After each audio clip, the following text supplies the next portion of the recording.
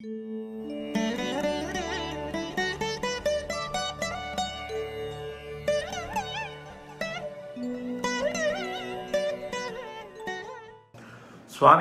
PS ஐயா ஒரு சந்தேகம்.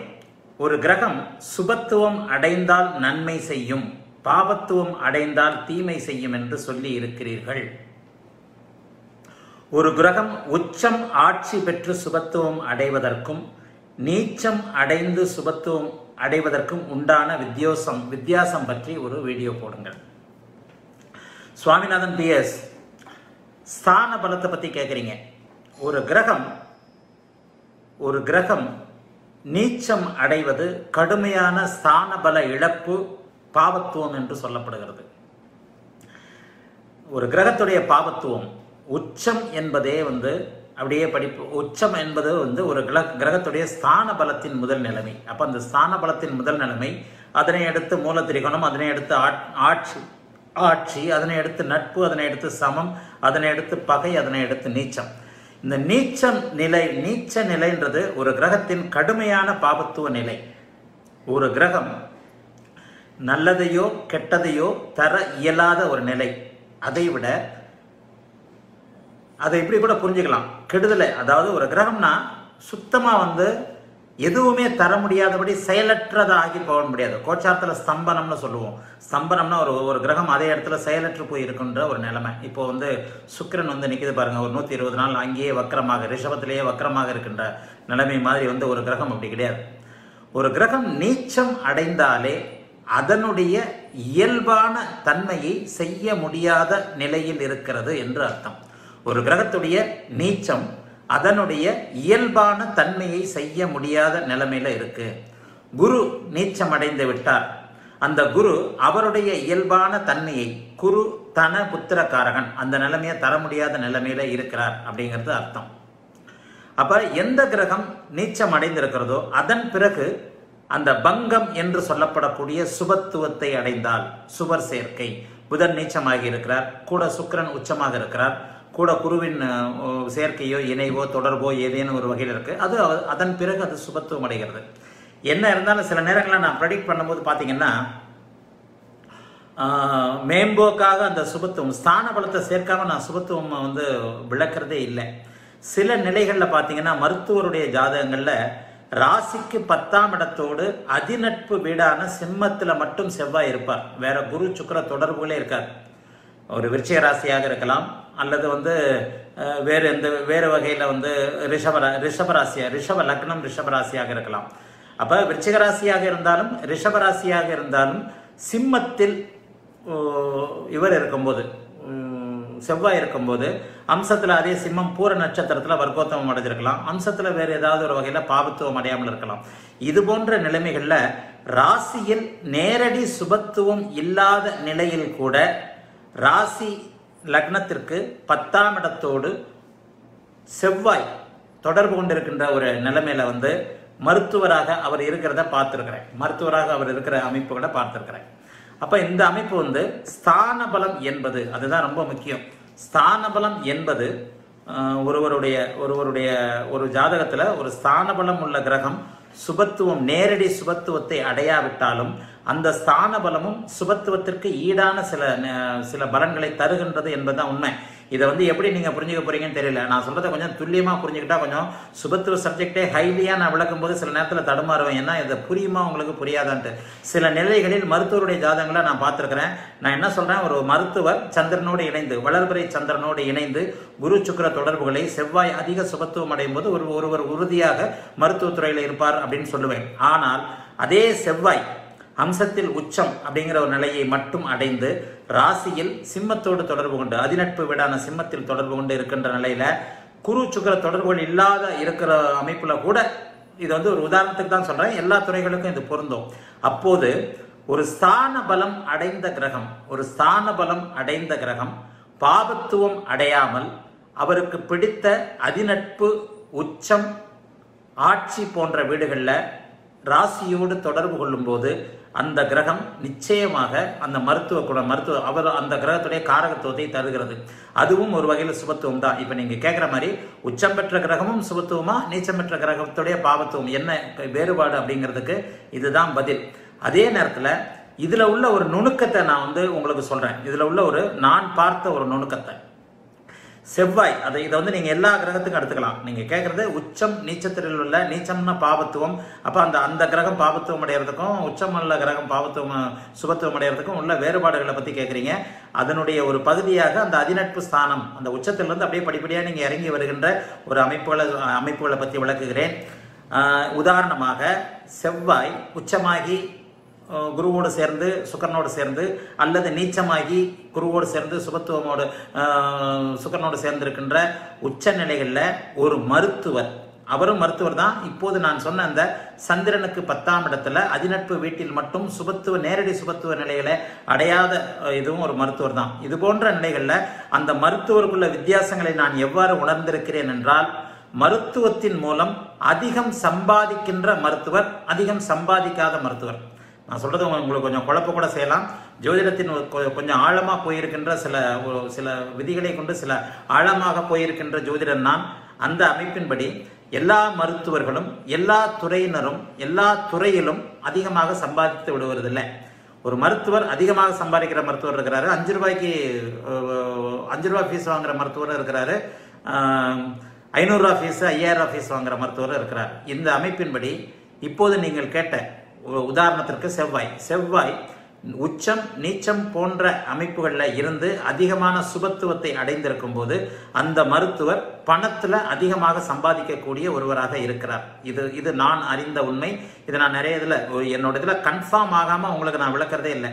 ஒரு விதியை அந்த விதி வந்து முழுமையாக தெரியாமல் நான் என்றைக்கும் உங்களுக்கு நான் பரிந்துரைப்பதோ அது உங்களுக்கு சொல்கிறதோ கிடையாது.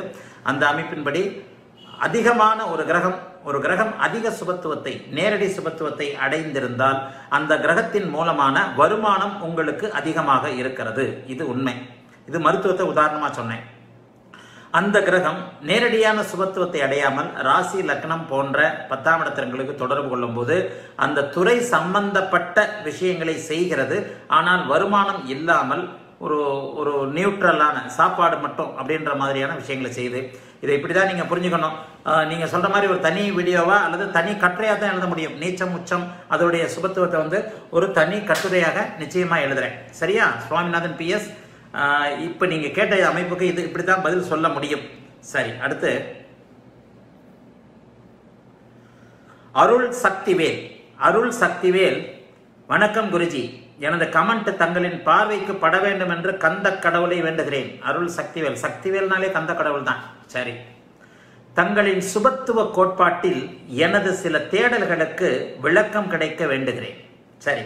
சுபத்துவ கோட்பாட்டில். சுபத்துவ கோட்பாட்டில் சனி செவ்வாய் சுவருடன் சேர்ந்தால் மற்றும் பார்த்தால் சுபத்துவம் பெறுகிறது என்பது போல அவை ஆட்சி உச்சம் பெற்று சுபர் பார்வை மற்றும் சேர்க்கை இல்லாமல் சுப கர்த்தாரி யோகம் அல்லது சுபரின் நட்சத்திர சாரம் அல்லது நவாம்சத்தில் நீச்சம் அல்லது நவாம்சத்தில் சுபருடன் சேர்ந்து இதில் ஒன்றை பெற்றால் நேர்வலு பெற்ற சனி மற்றும் செவ்வாய் சுபத்தன்மை அடையுமா? அப்பா கேள்வி வாசிக்கிறதுக்குள்ளே அப்படியே தொண்டை தண்ணி வத்தி போகுது. பாருங்க சுபத்துவ தத்துவத்தை அதிகமாக என்னால் முடிஞ்ச அளவுக்கு ஒவ்வொரு இடங்களையும் நான் விளக்கிக்கிட்டு தான் வரேன். ஆனாலும் உங்களை போன்றவர்களுக்கு அருள் சக்திவேல் உங்களை போன்றவர்களுக்கு சந்தேகங்கள் தீர்ந்த பாடில்லை. உங்களுடைய கேள்வி. சுபத்துவத்தில் சனி செவ்வாய் சுபருடன் சேர்ந்தால் மற்றும் பார்த்தால் சுபத்துவம். ஆட்சி உச்சம் பெற்று சுபர் பார்வை சேர்க்கை இல்லாமல் சுப கர்த்தாரி யோகம் உண்மை. ஒரு கிரகம் பாவ கிரகமாக இருந்து சுப கர்த்தாரி யோகத்தை பெற்றிருந்தால் சுப கர்த்தாரி யோகத்தை பெற்றிருக்கின்ற டிகிரி அளவில் போல அந்த பாவ கிரகம் சுபத்துவத்தை அடையும். சுபத்துவ கோட்பாட்டின்படி சனி செவ்வாய் சுபருடன் சேர்ந்தால் சுபத்துவம். சரி சுப கர்த்தாரி யோகத்தில் பாவகிரகங்கள் இருந்தால் சுபத்துவமா? உண்மை. சுப கர்த்தாரி யோகம் என்பது என்ன?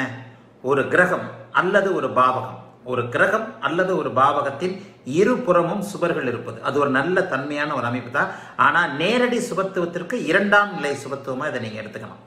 சுபத்துவத்தின் படிநிலைன்னு சொல்றேன் இல்லையா? அப்ப அந்த சுபத்துவத்தின் படிநிலை அமைப்புகள்ல நேரடியான சுபத்துவம் என்பதன் இரண்டாம் நிலை சுபத்துவமாக இது அமையும். இரண்டாம் நிலை சுபத்துவம்னா செகண்டரி அதுக்கப்புறம் அப்படியே கீழே வந்துகிட்டே இப்போது முதல் கேள்விக்கு நான் பதில் சொன்னதை போல ஸ்தான பலம் மற்றும் பெற்று இருக்கிறது பத்தாம் இடத்தோடு இரண்டாம் இடத்தோடு தொடர்பு கொண்டிருக்கிறது குறைந்த நிலை சுபத்துவம் என்பதை போல இது வந்து சுப கர்த்தாரி யோகம். ஒரு ஒரு ஒரு கிரகத்துணையோ சுப கர்த்தாரி யோகம்னா என்ன? ஒரு கிரகமோ அல்லது ஒரு பாவகமோ இருபுறமும் நல்ல கிரகங்களால் இருக்கப்பட்டிருப்பது நல்ல கிரகங்கள் என்ன? குரு சுக்கிரன் வளர்பிறை சந்திரன் தனித்த புதன். இந்த நான்கு கிரகங்களும் உதாரணமாக சனி துலாத்தில் உச்சம் பெற்றிருக்கிறார். துலாத்தில் உச்சம் பெற்றிருக்கிறார். இந்த பக்கம் விருச்சிகத்தில் அவருக்கு முன்னால் சுக்கிரனும் அவருக்கு பின்னால் குருவும் இருக்கின்ற பட்சத்தில் அவருக்கும் அந்த பாவகத்திற்கும் சுப கர்த்தாரி யோகம் கிடைக்கிறது. இவர்கள் இருவரும் தனித்திருக்கின்ற நிலையில இந்த சுபகர்த்தாரி யோகம் நன்மையாகத்தான் இருக்கும். அதே நேரத்தில் சனி அங்கே துலாத்தில் பத்து டிகிரியில் இருக்கிறார். பத்து டிகிரியில் ஆரம்ப பத்து டிகிரியில் இருக்கிறார்னு வச்சுக்குவோம். இங்கே துல இங்கே கன்னியில் குரு வந்து இருபத்தி ஐந்து அல்லது இருபத்தெட்டு டிகிரியில் இருக்கிறாருன்னா ரெண்டு பேருக்கும் இடையிலே வந்து ஒரு பத்து பன்னெண்டு டிகிரி தான் இருக்கும். இந்த சுப கர்த்தாரி யோகம் மிகப்பெரிய நன்மைகளை செய்யும். அதாவது சனி மிக நெருக்கமாக இருக்கிறார். மேம்போக்காக பார்த்து சனி உச்சம் மட்டும் பெற்றும் பாபத்துவமாக இருக்கிறார் அப்படின்னு கணக்கெடுத்துக்கிட்டாலும் மறைமுகமாக அடுத்த ராசியில் இருக்கின்ற குருவோடு பத்து பனிரெண்டு டிகிரியில் மட்டும் சேர்ந்திருக்கிறார் அப்படிங்கிற நிலைமையில நிச்சயமாக இங்கே சனி சுபத்துவம் அடைவார் இங்கே பத்து டிகிரியில் இருக்கிறாரு. விருச்சிகத்தில் சுக்கிரன் ஒரு ரெண்டு டிகிரியில் இருக்கிறாருன்னு வச்சுக்குவோம். இந்த பக்கம் பனிரெண்டு டிகிரிக்குள் சனி குருவால் சுபத்துவம். அந்த பக்கம் இருபத்தி ரெண்டு டிகிரிக்குள் சனி சுக்கரனால் ஓரளவு சுபத்துவம். இந்த பதிமூணு எட்டு இருபத்தி ரெண்டு டிகிரி கொடுத்துருக்கிறேன் பாருங்க. ஒரு கிரகத்தின் இணைவு என்பதற்கு நான் கொடுத்திருக்கின்ற எட்டு டிகிரி பதிமூன்று டிகிரி இருபத்தி ரெண்டு டிகிரி இந்த கணக்கை நீங்கள் எப்போவுமே வச்சுங்க. இதில் இதில் வந்து ஒரு மிகப்பெரிய ஒரு சூட்சும கணக்குகள்லாம் டிகிரியை பிரிக்கும் போது இருக்குது எட்டு டிகிரிக்குள் ஒரு இரண்டு கிரகங்கள் இருக்கும்போது அந்த கிரகம் எது அதிக பாப கிரகமோ அது அதிகமாக சுபத்துவம் அடையும். அந்த சுபத்துவத்தின் தன்மை அந்த சுப கிரகத்துக்கு கிரகத்திடமிருந்து அந்த பாப கிரகம் பறித்து கொள்ளும். இந்த எட்டு பதிமூன்று இருபத்தி ரெண்டு டிகிரி அதிகமான வீடியோக்களில் விளக்கியிருக்கிறேன். ஆகவே இப்போது நீங்கள் கேட்டதைப் போல இரண்டு பக்கமும் சுப கிரகங்கள் இருந்து குறிப்பிட்ட ஓரளவு டிகிரிக்குள்ள அவைகள் இணைந்திருந்து அதாவது அந்த பக்கம் இந்த பக்கம் குறிப்பிட்ட ஒரு டிகிரிக்குள்ள இருக்கும்போது அந்த சுபகர்த்தாரி யோகம் நல்ல விதமாக அந்த பாவ கிரகத்தை சுபத்துவம் அடைய செய்யும். ஆகவே சுபகர்த்தாரி யோகம்ன்றதே ஒரு நல்ல யோகம் தான் லக்னத்திற்கு இரண்டு பக்கமுமே வந்து சுப கிரகங்கள் இருந்தாலே லக்னம் சுபத்துவம் அடைந்ததாகத்தான் அர்த்தம். இதைத்தான் பாவக சுபத்துவம்னு சொல்றோம். லக்னத்திலேயே சுப கிரகங்கள் இருக்கின்ற நிலைக்கு அடுத்த நிலை இது. லக்னத்திலேயே சுபகிரகங்கள் இருக்கின்ற நிலைக்கு அடுத்த நிலையாக இதை இ- இதை சொல்லுவோம். லக்னத்திலே இருந்தால் அவர் கொடுத்து வைத்தவர். லக்னத்திற்கு இரண்டு பக்கமும் இருந்தால் ஓரளவு கொடுத்து வைத்தவர். இந்த சுபத்துவத்தின் படிநிலையை புரிஞ்சுக்கிட்டா தான் நான் சொல்வதைப் போல ஒருவர் ஆயிரம் ரூபாய் சம்பாதிப்பாரா பத்தாயிரம் ரூபாய் சம்பாதிப்பாரா கோடி சம்பாதிப்பாரா அப்படிங்கிறத துல்லியமாக சொல்ல முடியும். ஆகவே அருள் சக்திவேல் நீங்கள் கேட்டதை போல சுப கர்த்தாரி யோகம்ன்றது கரெக்டு தான். ரெண்டாவது என்ன கேட்குறீங்க சுபரின் நட்சத்திர சாரம். இந்த சுபரின் நட்சத்திர சாரம் சுபர் வீடுகள் இருக்கிறது தான் புஷ்கர நவாம்சம்னு வந்துருது சுபரின் நட்சத்திர சாரம் ஓரளவுக்கு சுபத்துவத்தை கொடுக்கத்தான் செய்யும். சுபரின் நட்சத்திர சாரம் ஓரளவிற்கு நிச்சயமாக. சுபர் சம்பந்தம் என்பது எல்லா நிலைகள் எல்லா நிலைகள்லையும் அது சுபத்துவம் தான். நேரடியாக ஒரு கிரகம் குருவோடு இணைவதற்கும் குருவோடு பார்ப்பதற்கும் பார்க்கப்படுவதற்கும் உள்ள வித்தியாசத்திற்கும் ஒரு கிரகம் நேரடியாக குருவோடு பார்க்க குருவால் பார்க்கப்படுகிறது குருவோடு இணைகிறது. அதிகபட்ச சுபத்துவம். குருவின் நட்சத்திரத்தில் இருக்கிறது குறைந்தபட்ச சுபத்துவம். இப்படித்தான் நீங்கள் அதை கணக்கெடுத்துக்கணும். பாப கிரகங்கள் எப்போது குருவோடு தொடர்பு கொள்ளுகின்றன? தொடர்புனா என்ன? பார்வை இணைவு சாரம் பெறுதல். இதெல்லாம் சேர்த்து தான் ஆக நட்சத்திர சாரம் அல்லது நவாம்சத்தில் நீச்சம் அல்லது நம்ச நவாம்சத்தில் சுவருடன் சேர்ந்து. நேரடியாக இங்கே நீச்சம் பெறதுக்கும் நவாம்சத்தில் நீச்சம் பெறதுக்கும் வித்தியாசம் இருக்கு. ஒரு பாப கிரகம் நீச்சம் அடைவது நிச்சயமாக நல்லது. ஆனால் கண்டிப்பாக சுபத்துவம் பெற வேண்டும். மறுபடியும் மறுபடியும் சொல்றேன். எந்த ஒரு கிரகமும் நீச்சம் அடையக்கூடாது. அது தப்பு. அப்படி நீச்சம் அடைந்தால் பாபத்துவம். எந்த ஒரு கிரகமும் நீச்சம் அடைந்தாலும் அது மறைமுகமாக வலுப்பெற வேண்டும். ஜோதிடத்தில் எல்லாமே வந்து விதி விதி விலக்கு விதி விதி விலக்குன்னு தான் போகும். புதன் நீச்சம் அடைஞ்சாலே அறிவு இல்லை. நீச்சமங்கம் அடைஞ்சால் அதிக அறிவு. சனி நீச்சம் அடைஞ்சால் உடல் உழைப்பு இல்லை. நீச்சமங்கம் அடைஞ்சால் அதாவது சுபத்துவத்தோடு வேறு வகையில் இதடைஞ்சால் அதிகபட்ச சொகுசு வாழ்க்கை. இப்படித்தான் போகணும். குரு நீச்சம் அடைஞ்சால் பணம் இல்லை. ஆனால் நீச்ச பங்கம் அடைந்தால் அதிகமான பணம். குரு நீச்சம் அடைஞ்சால் ஆன்மீகம் இல்லை. நீச்ச பங்கம் அடைஞ்சால் அதிகமான ஆன்மீகம். இப்படித்தான் போகணும். ஆக எந்த கிரகம் நீச்சம் அடைந்தால் நல்லது அப்படிங்கிறத தெரிந்து கொண்டு எந்த ஒரு கிரகமுமா இருந்தாலும் ஏழு கிரகமும் நீச்சம் அடையவே கூடாது. சப்த கிரகங்கள் நீச்சம் அடைவது நல்லதல்ல. அப்படி நீச்சம் அடைந்தால் அவை மறைமுகமாக வேறு வகையில் வலுப்பெற வேண்டும் அப்படிங்கிறதான் ஜோசியம். நான் தான் மறுபடியும் மறுபடியும் சொல்கிறேனே ஒன்பது கிரகங்களும் நமக்கு தேவை. ஒன்பது கிரகங்களும் எல்லா நிலையிலும் எல்லா கிரகமும் நட்பு நிலைமையில தான் அவன் கொடுத்து வச்சிருக்கேன் எல்லா கிரகமும் நட்பு நிலையில இருந்தது அவர் கொடுத்து வைத்தவர் உண்மையிலேயே. எல்லா கிரகங்களுடைய நல்ல பலன்கள் நல்ல அமைப்பு. இந்த சுபத்துவத்தை இந்த இடத்துல தான் நான் கொண்டு வருவேன். ஒரு நட்பு நிலைமையில இருக்கும்போது பாவ தொடர்புகள் இல்லாமல் ராகு சனி செவ்வாயுடைய பாவ தொடர்புகள் இல்லாமல் இருக்கும்போது நிச்சயமாக அந்த கிரகம் நல்ல பலன்களே செய்யும். ஆகவே ந- நவாம்சத்துல நீச்சம் அல்லது நவாம்சத்துல சுபர். நவாம்சத்துல சுபருடன் சேர்றது மிகப்பெரிய யோகம். நவாம்சத்துல அதைத்தான் சுப வர்க்கம்னு சொல்றோம். சுப வர்க்கங்கள் வர்க்க சக்கரங்கள் சுபத்துவ பாபத்துவத்தை அளவிடுவதற்காக மட்டுமே ஏற்படுத்தப்பட்டவையே தவிர நவாம்சத்துல பொண்டாட்டியை பார்க்கலாம் தவாம்சத்து தசாம்சத்துல தொழிலை பார்க்கலாம். இல்லவே இல்லை. அப்படி கிடையவே கிடையாது. இதெல்லாம் ஜோசியத்தை டைவர்ட் பண்ற வேலை. நவாம்சத்துல கிரகத்துடைய சுபத்துவத்தை பார்க்கலாம். ஏன்னா ஒன்பது பாதங்கள்ல அது எங்க இருக்கிறார் அப்படிங்கிறத பார்க்க முடியும். நவாம்சத்தை மட்டும் வச்சு பொண்டாட்டியை சொல்லிட முடியுமா? கிடையாது. யார் எந்த காலத்துல எப்படி சொல்லி கொடுத்தாங்களே தெரியல. அதாவது ஒரு அனுபவத்தின் ரீதியாக தயவு தாட்சணியமின்றி தயக்கமின்றி மனதிற்கு ஒவ்வாத கருத்துக்களை ஒத்துவராத கருத்துக்களை மறுப்பவன் தான் உண்மையான ஜோசியம் இந்த இந்த அமைப்பில் கிட்டத்தட்ட ஒரு இருபது இருபத்தஞ்சு வயசு வருஷம் வந்து வேற வேலையே இல்லாமல் ஜோசியத்தை ஆய்வு செய்திருக்கிறேன். நவாம்சத்தில் போய் உங்கள் மனைவியை சொல்லலாம். தசாம்சத்தில் போய் அதாவது டி டென்னா ஏதோ சொல்லுவீங்க. அந்த தசாம்சத்தில் போயிட்டு தொழிலை செய்யலாம். நெவர் அனைத்தும் அடங்கியது ராசி சக்கரம் மட்டுமே. ராசி சக்கரத்தின் சுபத்துவ பாவத்துவ நிலைகளை மட்டுமே வர்க்க சக்கரங்களில் நீங்கள் அடை அளவிடலாம். இப்போது நான் சொல்லுகின்ற விஷயம் அந்த காலத்தில் ஒரு கிரகம் எத்தகைய சுப வர்க்கங்களில் இருக்கிறது? எத்தகைய சுப நிலைகளில் இருக்கிறது? அப்படிங்கிறத பார்க்கத்தான் அந்த கிரகம் கூறு போடப்பட்டு அப்படியே டிகிரி கணக்கில் கூறு போடப்பட்டு அதனுடைய சுபத்துவ பாவத்துவ விஷயங்கள் அளவிடப்படுவதற்காக இந்த கோபராம்சம் அந்தாம்சம் வர்க்கோத்தமம் இது எல்லாம் வந்தது அந்த கிரகத்துடைய சுப பாவத்துவ அமைப்புக்காகத்தான். இந்த சுபத்துவ பாவத்துவ அமைப்பைத்தான் நான் வெகு எளிமையாக உங்களுக்கு இப்படி நேரடியாக சொல்லிக் கொடுக்குறேன். நான் அறிந்ததில் ஏன் இப்படி தலைகீழ சுற்றி வர்றாங்க? இது இப்படி ஈஸியாக இருக்கே அப்படிங்கிற ஒரு கிளிக் எனக்கு கிடைச்சது. ஏன் இவ்வளோ தூரம் சுற்றி வர்றாங்க? டி டூ டி டுவெல் அது இது இப்படி இப்படின்னு போய் இத்தனையும் பார்ப்பதை விட இப்படி இந்த கிரகத்தை பார்த்தால் இது ஒத்து வருகிறதா அப்படின்னு நான் ஆய்வு செய்ய போய் ஒரு மருத்துவருடைய ஜாதகம் ஒரு வழக்கறிஞருடைய ஜாதகம். தினசரி ஏழு மணியிலிருந்து எட்டு மணி வரைக்கும் யூடியூப்ல நான் பண்ற லைவை முதல்ல ஒரு பாராட்டு பாராட்டிடுறீங்க. என்ன பாராட்டுறீங்க? டேட் ஆஃப் பர்த் டைமு உங்களுடைய கேள்வியை படித்த உடனேயே ஜாதக அமைப்பை சொல்லுகிறீங்களே. இது வந்து யாராலும் முடியாத ஒன்று எல்லாராலையும் முடியும். புரிஞ்சுக்கிட்டீங்கன்னா உங்களால் கூட முடியும். பாவக சுபத்துவம் காரக சுபத்துவம் கிரக அமைப்புகள். இந்த இந்த சுபத்துவத்தை நீங்கள் புரிஞ்சுக்கிட்டீங்கன்னா உண்மை. அதுவும் வந்து விளையாட்டாக ஒரு ஒரு நாள் ரெண்டு மூணு பேருக்கு சொன்னேன். அந்த விளையாட்டாக சொல்ல போய் அது இப்போ இப்போ தினசரி சொல்கிற மாதிரி ஆகிப்போச்சு அதாவது இந்த கேள்வி நீ கேட்குற கேட்குறனா இருந்தால் உன்னுடைய மனம் இந்த இந்த கேள்வி நீ கேட்குறதா இருந்தால் நிச்சயமாக உனக்கு வந்து இது போன்ற ஜாதக அமைப்பு இருக்குன்றது நூற்றுக்கு நூறு உண்மையாக இருக்கும். இந்த இது இன்சூரன்ஸை சொன்னேன். விருச்சிகத்தோடு செவ்வாய் தொடர்பு கொண்டிருக்க வேண்டும். பாய்லர் சொன்னேன். மேஷத்தோடு செவ்வாய் தொடர்பு கொண்டிருக்க வேண்டும். இதை சொன்னேன். ஆடிட்டரை சொன்னேன். புதனும் குருவும் பத்தாம் இடத்தோடு. இதை தானே நான் விதிகளாக சொல்கிறேன் பொய் சொல்லி பிழைக்கும் சனியும் குருவும். பொய் சொல்லி பிழைக்கும் சனி குருவோடு இணைந்து ரெண்டு பத்தாம் இடங்களோடு ராசி லக்னத்திற்கு இரண்டு பத்தாங்களோட தொடர்பு கொள்ளும் போது அவர் லாயரா இருப்பார். உறுதியா லாயரா இருப்பார். இந்த அமைப்புகளை தான் நீங்க வந்து புரிஞ்சுக்கணும். ஆக இந்த வர்க்க சக்கரங்கள் வர்க்க சக்கரங்கள்ல இவ்வளவு சுத்தி வருகின்ற விஷயங்களை தான் நான் என்னுடைய மனசுல தேக்கி நான் பார்த்த ஆயிரக்கணக்கான ஜாதகங்கள்ல எனக்கு என்ன புரிந்ததோ அதை நான் வந்து அந்த சுபத்துவம் சூட்சுமவடு அப்படின்னு ஒரே பாயிண்ட்ல கொண்டு வந்துடுறேன். இந்த ராசியில் நீங்கள் அழகாக நான் புரிஞ்சுக்கிட்டீங்கனாலே நிச்சயமாக நான் சொல்கிற விஷயங்களை நீங்களும் சொல்லலாம். அதை நீங்களும் எப்படி சொல்லலாம்? நான் இப்போ என்ன மட்டும் சொல்கிறீங்களே ஒரு லாயர் லாயர்னு சொன்னால் இப்படி தான் லாயருக்கான அமைப்பு இருக்குன்றீங்க. பொற்கொள்ளர்னு சொன்னால் பொற்கொள்ளருக்கு இப்படிதான் இருக்குன்றீங்க. அந்த காரகத்துவங்களையும் ஆதிபத்தியங்களையும் சுபத்துவ பாபத்து பாபத்துவத்தோடு இணைத்து பார்க்க தெரியும் பொழுது உங்களால் ஒருவருடைய தொழிலை கேட்ட உடனேயே அவருடைய ஜாதகத்தில் இந்த அமைப்பு இருக்கும் அப்படிங்கிறத வெகு தெளிவாக சொல்ல முடியும்.